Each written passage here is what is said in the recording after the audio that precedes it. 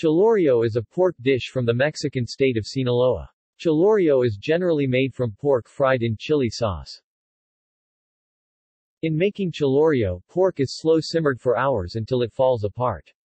It is then broken into bite-sized pieces, fried in lard, and cooked in a chili sauce made from rehydrated dried chilies. The sauce is usually flavored with onions, cumin and garlic.